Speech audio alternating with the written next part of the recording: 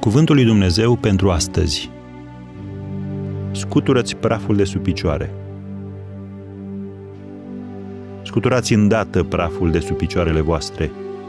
Marcu 6, versetul 11. Iată un sfat înțelept pe care Domnul Isus îl dă ucenicilor săi. Când cineva te respinge sau nu dorește să te asculte, scuturați îndată praful de sub picioarele voastre ca mărturie pentru ei – când experimentezi respingerea, ai de ales între două lucruri. Să lași ca încrederea și stima de sine să aibă de suferit, sau să-ți scuturi praful de sub picioare și să mergi mai departe. Domnul Isus nu vorbea despre mințile sincere care nu înțeleg, ci despre cele mândre care resping adevărul.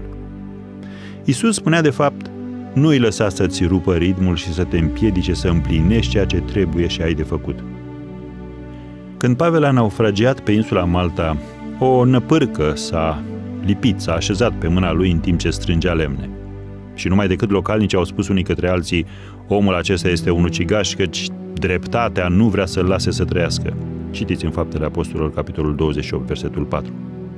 Cum a reacționat Pavel? A scuturat năpârca în foc și n-a simțit niciun rău. Ce au spus atunci localnicii despre el? Și-au schimbat părerea și ziceau că este un zeu. Citiți în versetul 6 mai departe. Extraordinar. Părerea oamenilor este schimbătoare ca vremea. Așa că nu lăsa ca laudele lor să te umfle de mândrie și nici ca dezaprobarea lor să te doboare. Voia lui Dumnezeu este să-i ajuți pe alții. Dacă îți solicită sau acceptă ajutorul, oferă-l. Dacă nu, du-te acolo unde ești acceptat și apreciat.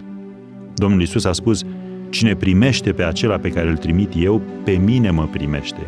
Ioan capitolul 13, versetul 20. Analizând lucrurile corect, vedem că oamenii nu te resping pe tine, ci pe acela care te-a trimis pe tine. Și când știi lucrul acesta, ai încredere și pace în suflet.